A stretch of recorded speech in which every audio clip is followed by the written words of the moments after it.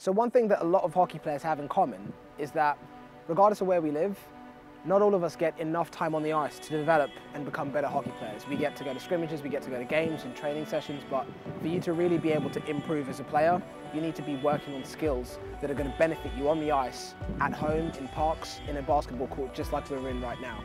So we're going to be taking you through a series of drills and skills that you can practice. It's not only going to build your skills and development as a hockey player, but it's also going to give you a lot of confidence and improve all of those skills that we need to be able to get us scoring more goals on the ice. But most importantly, none of the drills that we're showing you in these skill series would be possible without the hockey wraparound. This is an off-ice stick protector that goes on the end of your stick that protects the blade so you can train no longer on a tiny little shooting board, you can extend that training space to whatever surface you like. It means that you can practice stick handling and shooting all around your body without having to worry about keeping on one tiny bit surface. Shooting at targets from a stationary location is a great skill to learn. However, in a game, it's rare that you're going to be standing still when you shoot. You're going to be in motion, under pressure, getting a pass. You need to learn how to shoot from all these situations. Here are some great shooting drills for you to try. Shooting from your instep. What the puck sees and what you see are two very different things. Expand your shooting gallery by pulling the puck into your feet before shooting. This throws off goaltenders and defensemen.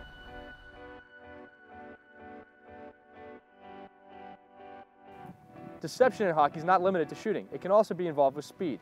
Work on receiving passes on your stick and then delaying before shooting them at the net.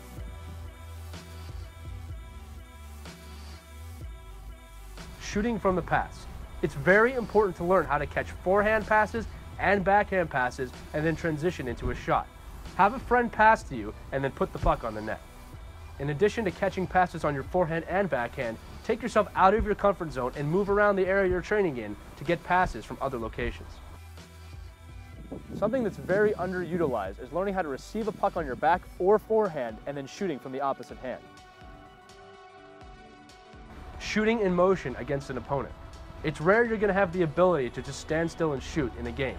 Make sure to challenge yourself by having a friend go one-on-one -on -one with you, getting around him, and finding a path to the net.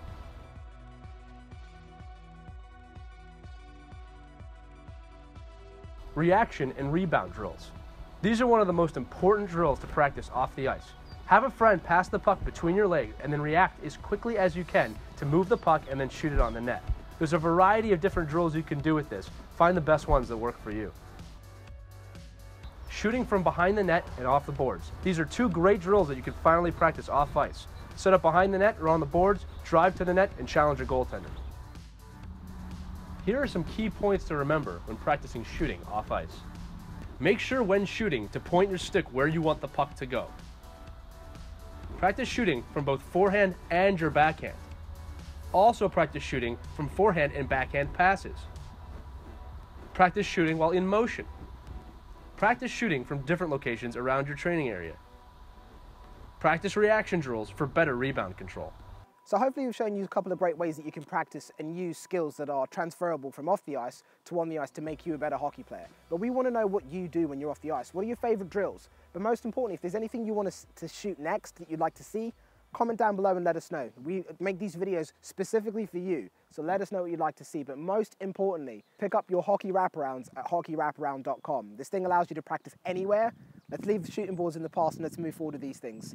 So a big thank you to Hockey Wraparound and of course Lee Elias for joining us during these videos, showing you how to become a better hockey player with the Hockey Wraparound. And also last but not least, massive thank you to the Peterborough Phantoms for joining us in this drill outside today. Don't forget to subscribe, check out the videos, join us on the social pages down below so you can stay connected, subscribe, and take care till next time. for you at home. So we've made some changes to have a better overall fit, a better experience, and most importantly, to make hockey more accessible for the people out in the world. We're both excited and proud to introduce the new Hockey Wraparound 1.